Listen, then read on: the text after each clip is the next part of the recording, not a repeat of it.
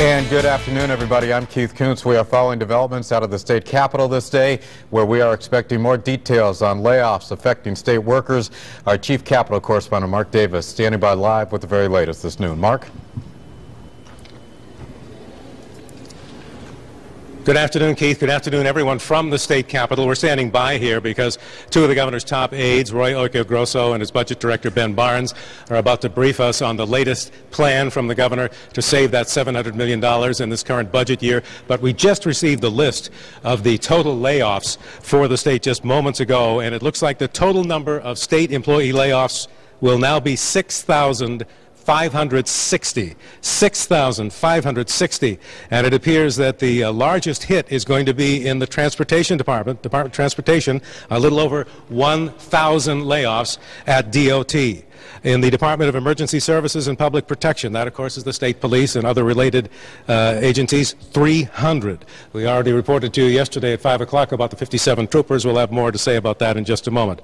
The Department of Energy and Environmental Protection, 162. Department of Developmental Services, 500. Department of Mental Health and Addiction Services, about 500. And we've been told that some uh, uh, DSS, uh, Department of Social Service Welfare offices, are being closed as we speak. University of Connecticut total 345. University of Connecticut Health Center total 165. Department of Correction new total today is 863, and the Department of Children and Families total 362. Those are some of the large hits on the layoffs, and uh, details on all of this will be coming forthcoming. We're told in about 10 or 15 minutes from uh, the governor's two top aides, and we'll be bringing that to you live. But right now, the president of the State Police Union is joining us. Uh, Andy Matthews is here because he wants to dispute statements by the governor's office that the public safety uh, of uh, the public safety's public safety will not be threatened uh, by these layoffs of these 57 new state troopers. Uh, why do you contest that, Andy? Uh, with all due respect to the governor's office, um, we believe that we have a statutory mandate under Connecticut General Statute 29-4 of 1,248 troopers. In February of 2009, we had 1,283 troopers. We're currently at 1,127. If we lose this class of 57 troopers uh, in, on August 24th, we'll be at 1,070 troopers, well below the statutory mandate. Right. Um, and, as you explained to us earlier, not all of those troopers are on the road. There's a lot of them that are off the road, and they'll have to come out of those uh, other uh, office jobs, which are vitally important.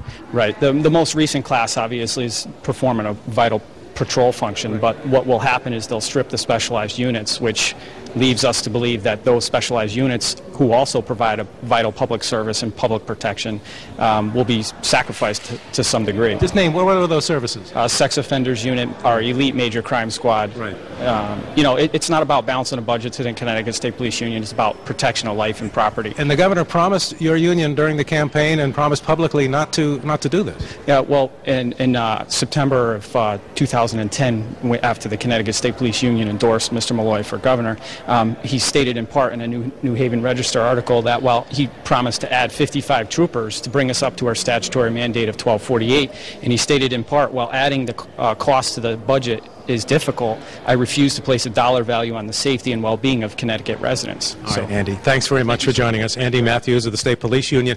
And let me explain, uh, we had some confusion, you may recall, at 5 o'clock yesterday about whether 58 or 57 new state troopers were being laid off. Well, the number originally was 58, but it's brought, brought down to 57 because one of those state troopers is currently on active duty in Afghanistan. Uh, we'll come back here live uh, as soon as the briefing from the governor's two top aides on this latest list of layoffs starts. We expect that sometime during this half hour. Live at the state capitol, Mark Davis, News 8.